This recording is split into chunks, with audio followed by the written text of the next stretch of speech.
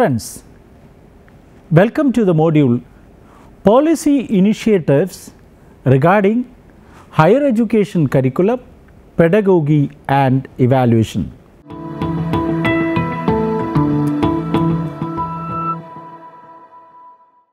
In this module, we will try to see some of the significant policy initiatives of our country related to the higher education curriculum, pedagogy and evaluation. As you know, it is only after independence our country has got exclusive opportunity to cast the educational policies to equip the young generation in the changing world scenario. But this opportunity was not free from profound responsibility that lay ahead for reorienting the entire system of education. There are various committees and commissions appointed in India for transformation in the field of education. The very first commission formed in independent India was on higher education. Subsequent to that, several commissions and committees appointed to improve education sector, especially higher education at different point of time. The reports and recommendations of these commissions made the foundation for initiating reorganization of Indian higher education sector. The pattern of higher education is entirely different from elementary education. Elementary education is the right of every child and is, free and compulsory. But higher education is meant for the individuals having aptitude in the relevant field. If we are analyzing the trends in higher education after independence, we can see mainly four trends as follows.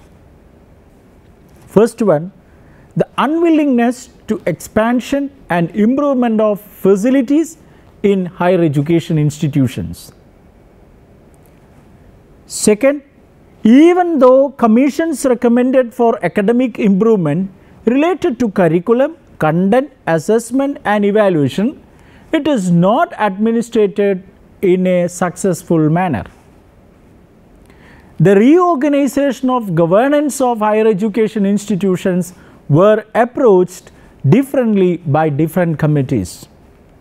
Another important trend is the privatization and private participation in higher education. So, at this context, this module examines the various education commissions and policies on higher education regarding curriculum, pedagogy and evaluation in independent India. So, let us have an overview on the various education commissions and policies. The educational scenario in India at the time of independence was quite depressing. There were limited number of higher education institutes and vocational and technical education was poorly developed both at the school and university stages. Educational disparities was very huge especially related to region, religion, caste and gender differences. The standard of education in general was unsatisfactory. With this background after independence several committees and commissions were constituted to explore the problems and purposes the way forward. It was felt that universities could play a significant role in the development process. Following are the important commissions which made remarkable comments on higher education and its curriculum pedagogy and evaluation. University Education Commission of 1948 to 49 University Education Commission was the foremost commission on education after independence. Its chief accent was on higher education but it also mentioned the issues related to other aspects of education. Dr. S. Radhakrishnan, a great visionary of modern era, was the chairman of the commission. The commission defined the vital task of higher education. The commission was meant to study the problem of university education in the country and to suggest measures for its reforms, keeping in view the needs and aspirations of the people. The commission after extensive negotiation made very important recommendations on higher education especially regarding curriculum, pedagogy and assessment and are relevant even in the contemporary context. Some of the recommendations are as follows. The commission emphasized the role of postgraduate education training and research for the advancement of knowledge. It stressed that scientific and technical base of the education system should be strengthened. Recognizing the significance of the medium of instruction, the commission recommended that Indian languages should be used as a medium of instruction in higher education. Students at the higher secondary and university levels should be made acquainted with three languages the regional language, the federal language and the English. Higher education is imparted through the instrumentality of the regional language with the option to use the federal language as the medium of instruction either for some subjects or for all subjects. There should be a connecting bond between the general, academic and vocational education. The principles and practices of general education must become an integral part of course at the immediate and degree stage. The standard of admission to university courses should correspond to that of the intermediate examination.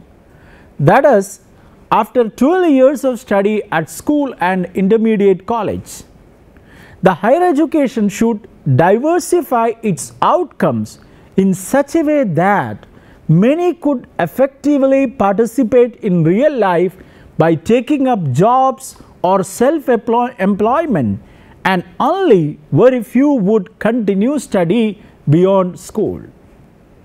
Avoid mass lecturing to the possible extent and provide library work, exercises and other activities.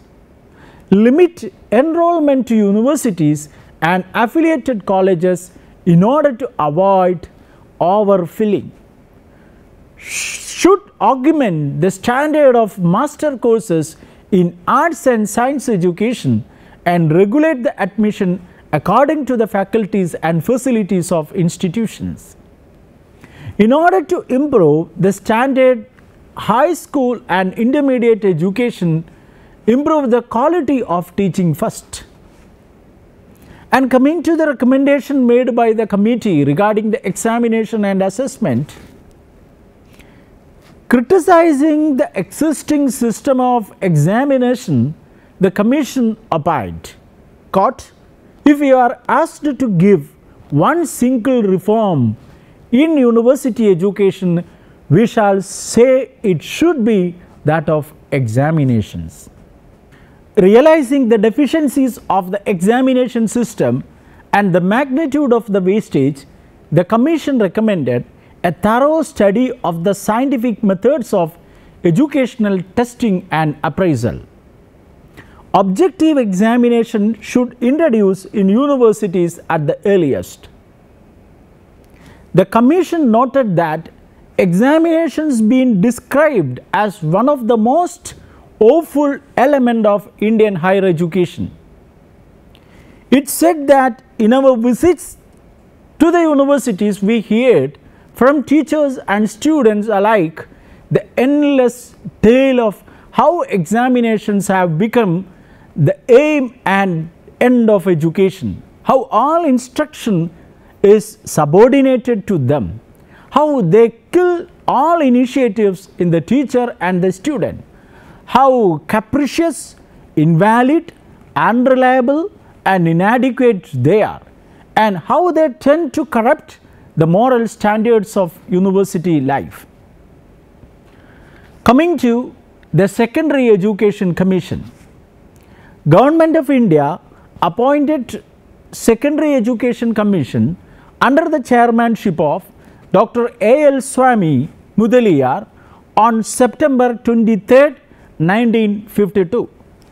The commission was basically meant to study the various problems of secondary education and to suggest measures for reforms on aim, teaching arrangement, organization, the relationship of secondary education with primary and university education.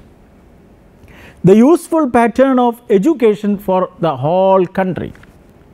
It also made recommendations on higher education in India and pointed out various defects in the existing pattern of education and suggested various reforms.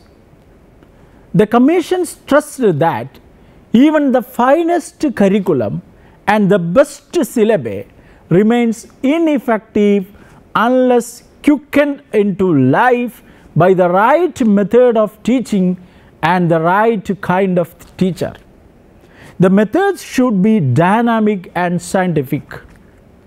It is recommended that a deliberate attempt should be made to implement methods of instruction to the needs of individual students as much as possible to so that dull, average and bright students may all have a chance to progress at their own pace. Also recommended a minimum of 10 years of common curriculum for building citizenship and diversification of courses would be introduced only after this. The commission emphasized the necessity for the alternative channels of education to eliminate illiteracy and afford adult education.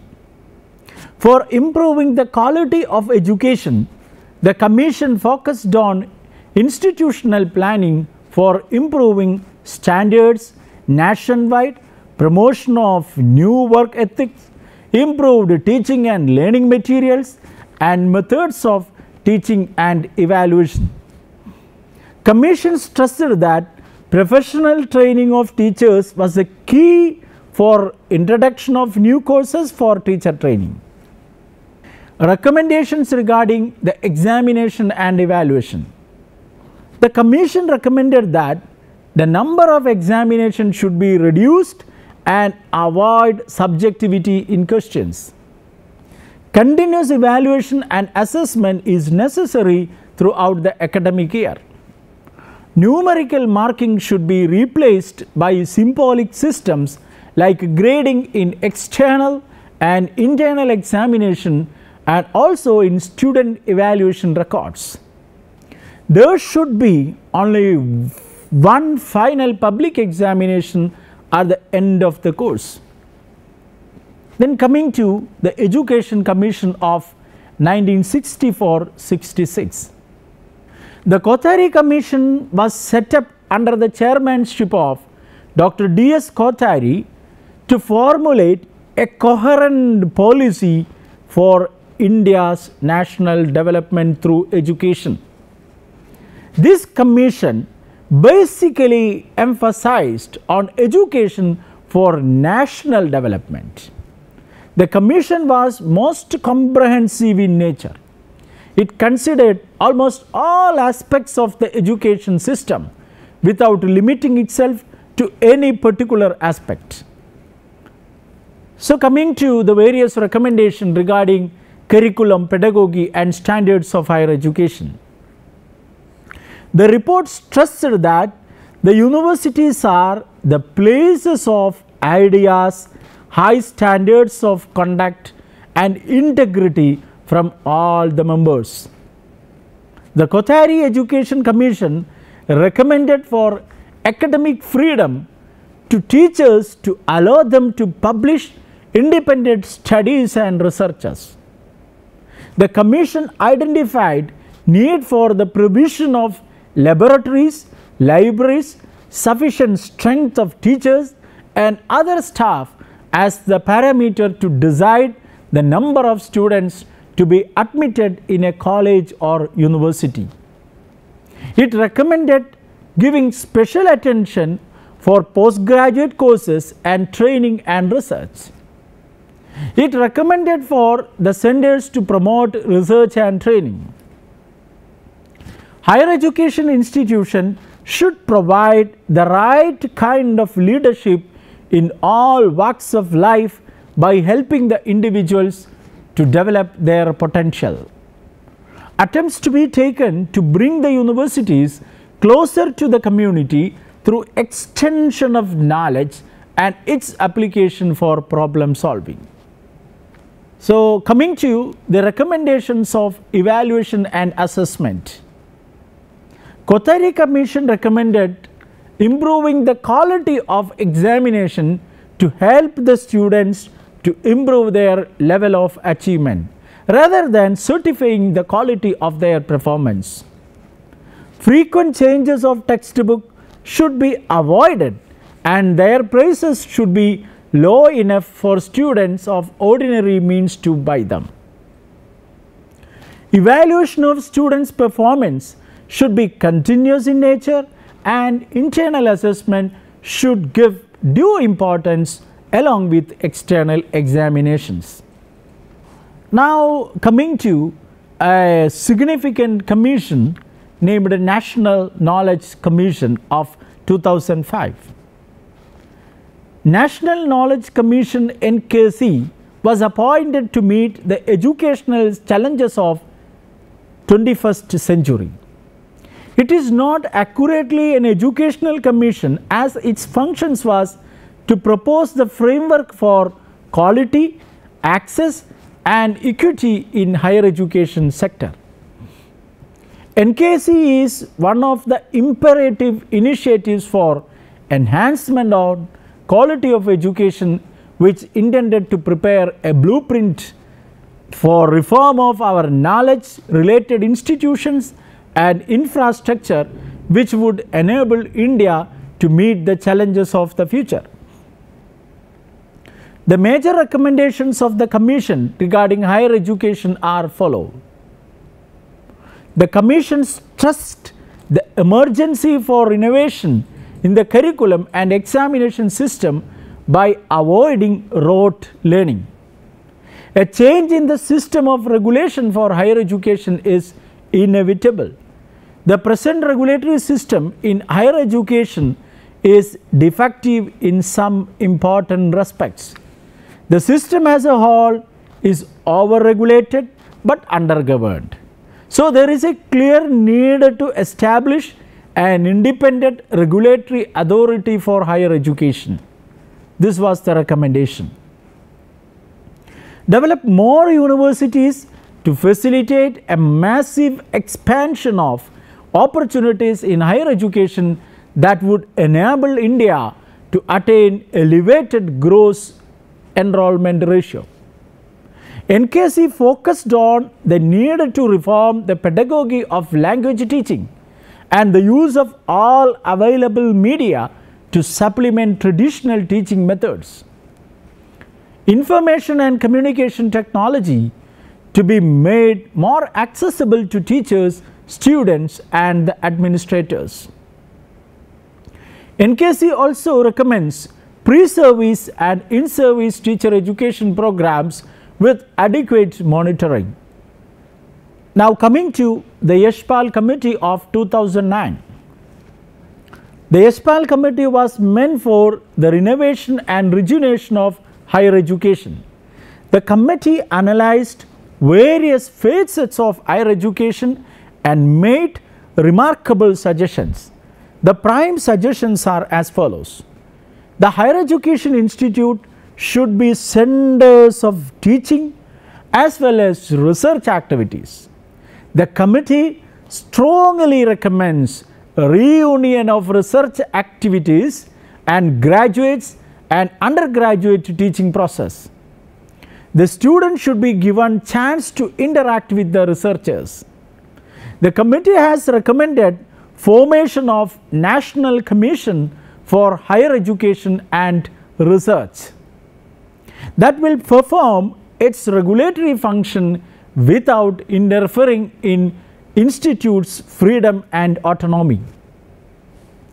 The committee has robustly suggested curricular reforms to harmonize theoretical course content with on field practical exposure in the form of summer jobs or internship. The courses should be planned so that there is integration across disciplines that the learners simulated in various subjects. The committee stressed on improving teacher education as according to it the responsibility of training teachers at all levels belongs to higher education institute. Coming to the CABE committee on autonomy of 2005. Central Advisory Board of Education Committee on Autonomy has made significant suggestions for all the around quality improvement of higher education. The committee suggested that there is a necessity to endow autonomy to individual higher education institutions for designing curriculum. Universities may provide a general framework within which individual faculty member both with the universities and in colleges should be encouraged to make overteaching and learning into an interesting and rewarding experience. All universities should implement novel approaches in undertaking periodic revision of curriculum depending on the developments in the subject area. Authoritative agencies may develop appropriate mechanism of checking the quality of curricular changes envisaged by the institution and provide feedback for improvement wherever required. The higher education institution should focus equally on academic and job oriented programs while planning for new programs to make higher education relevant for the world of work. All universities should shift towards implementation of choice based credit courses along with semester system within the minimum possible time. This would bring in flexibility in the educational organization in addition to facilitate students mobility both within the country and abroad. It is recommended that there could be a mix of internal and external evaluation depending on the conditions prevailing in each university. Each higher education institution should set up an internal quality assurance cell IQAC with a view to continuously assess its performance on objective and predefined parameters. Institutions should make their output performance public to ensure accountability. Now coming to the major educational policies of the country. The major commissions on education discussed earlier lay down the foundation for developing education policies in India. In this regard, National Policy on Education of 1968 and 1986 and the revised program of action of 1992 was established for preparing the detailed roadmap for implementation of the schemes of education. Now let us discuss in detail what the policies had to say about aspects of education. Coming to the National Policy on Education of 1968. The national policy of 1968 marked a significant step in the history of education in post independent India. It laid stress on the need for a drastic restoration of the education system to improve its quality at all stages. The policy emphasized fortification of curricula and improvement of textbook and teaching methods. It advocated the strengthening of science education and stepping up of scholarship schemes for backward sections of the society. Though NPE 1968 was an excellent attempt in suggesting ways forward, it could not be executed successfully in the absence of a detailed functioning strategy, assignment of precise responsibility and lack of financial and organizational support. Now coming to the national policy on education of 1986. The national policy on education was proposed to set up India for the 21st century. The policy observed that quote, education in India stands at a crossroad today. Neither normal linear expansion nor the existing pace and nature of improvement can meet the needs of the situation unquote. The policy was intended to raise educational standards and increase access to education. The major suggestions of the policy on higher education include specially designed orientation programs will be organized for professional and career development of teachers. District Institute of Education and Training that need to be established with the capability to organize pre-service and in-service courses for elementary school teachers and for non-formal and adult education. The National Council for Teacher Education should be provided the necessary resources and capability to accredit institutions of teacher education and to provide guidance regarding curricula and methods.